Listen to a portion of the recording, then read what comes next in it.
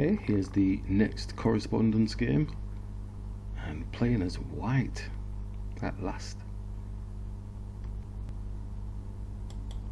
So opened e4 as usual. Just developed through, nice and steadily captured and just highlight this particular maneuver here. So always looking at the creative aspect of things and if the opponent is getting too creative looking at taking advantage of um, tempo wins that type of situation. So they did push through here big and for a brief moment I thought well I don't know why they've given that pawn up in that sense. Is it developing them? So it was the smallest of details. I just thought well we're going to sort of win a, a minor minor minor minor minor tempi out of that. So they developed their bishop so we can push forward now with our centre pawn. And then they move the bishop again. There's nothing wrong with moving pieces twice, right? Yeah. If you're finding appropriate positions for them, then that's all well and good. But if you're playing somebody who isn't really giving you a feed, then you're then not developing your other key pieces.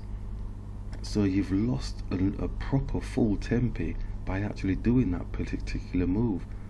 Is the idea that the bishop is actually coming to attack this pawn to dishevel the queen? It's not really sure. So to me, that was like a, a big waste of a, a move. Think eval bar probably is backing us up on that one. So a bit too creative, overly creative, probably worrying about something that isn't actually happening at all. So yeah, that's very strange. And it's hopeful that I'm trying to get rid of any types of moves like that. So we bring our bishop through, we're wanting to go on castle, get king safety, keeping it all straightforward and simple. So we castle, and again the opponent is very late in ca castling. I think this is the fourth game where castling seems to be not the order of the day. So then they brought the bishop back again so losing lots more tempi. I've seen higher rated players playing like this as well, you know, in this sort of way, and it they do lose tempo. Some of them can win, you know, using that because they're just waiting for the opponent to overextend, you know, um, and it's almost like they're sort of like playing dumb, you know. It's like basically doing was it the Bongcloud or whatever they call these things, you know, where they do silly moves just so that the opponent feels that they're winning, and then somehow they come out actually um, winning from these bad positions that they're creating for themselves. So don't try not to fall for these things but bear in mind that yes I am probably now free tempi up based on what the opponent opponent has done with his initial moves. But it's how I take advantage of that.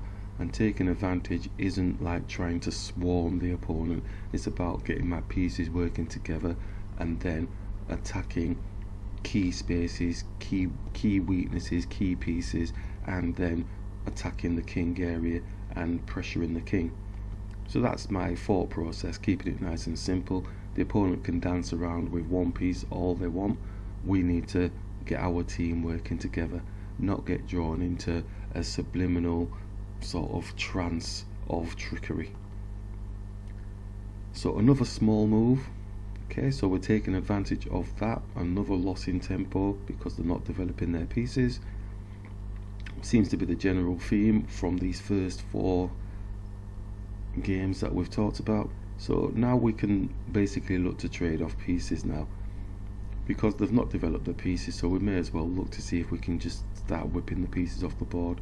So they do capture, captures, um, we, we expected the queen to take but now he's dancing with the queen, attacking the pawn here so we probably need to look to protect that. So bringing the bishop up, defending, seems pretty straightforward king could go on castle queen side, but didn't take the opportunity, so the king is still stuck in the center. So we can nicely, nice and steadily just move the queen out of the way.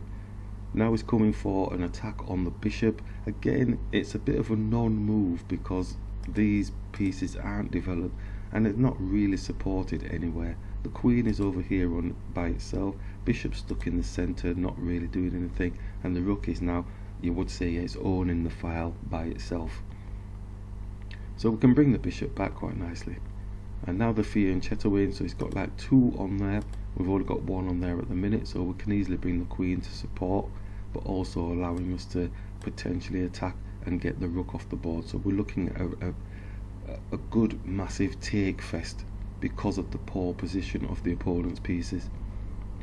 So he looks to basically exchange off. At this point here, I'm I'm I'm so happy because we're just going to be basically looking to take that off there, looking to challenge the rook to get that off there if we can. Uh, the king will be here. Once that's taken, then we can put the rook here. Then we can sort of improve our position with our bishops and our other pawn positions. So capture, they capture. So they've doubled the pawns now at this stage.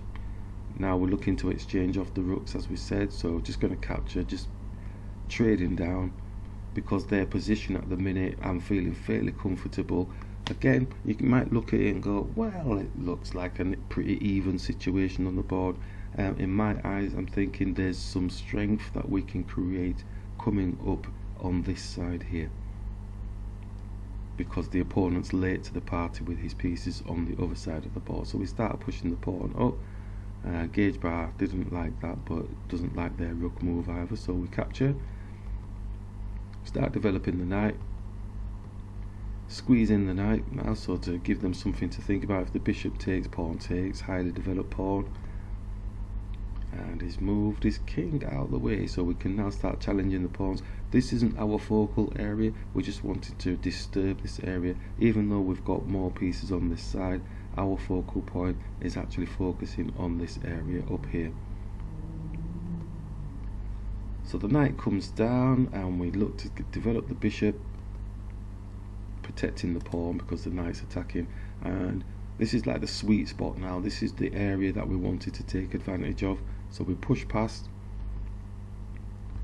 and we're ready to take. So if he's looking to exchange we're gladly going to take that off the board which we do.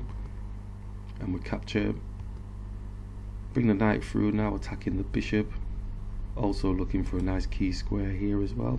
Mm. But trading down just getting rid of the pieces because we want to focus on developing our pieces up here. So all this distraction work over on this side is helping our case. Knight takes. Now we can bring the bishop back, support the pawn, support our bishop. Just get the king up just in case there's any trickery. Now we can start action in this. Now it's a funny sort of equation. And the opponent didn't have to do the moves they made, but they made the moves, so we capture the pawn here. And then we capture here. So at this stage here, this is where the magic can occur depending on what the opponent does obviously so the knight moves to the wrong side of the board. I think the, the real art probably would have been bringing the knight here protecting around this area. So he's looking for a 2 on 1 on this pawn. Don't really care. If we can get this pawn out of the way then this pawn can just go ramping up. And they do actually capture. So then we push the pawn and he's looking to come past but we're looking to go and get promoted and then they resigned. So that again is like late development of pieces. Yes it got this far in the game but for me this is a, a comfortable position for us right from the start when the opponent wasn't actually doing any castling didn't prepare their pieces out. So this poor knight and his bishop and his his other rooks and stuff were very late to the party. So all the drinks had been drunk, all the cakes had been drunk, so they were out now nibbling on the bare bones of the, the scraps. You know, they were like eating the crusts off the pizzas, you know, that type of thing. So just being those moments too late to the party in chess can create a little bit of havoc, especially towards the end game.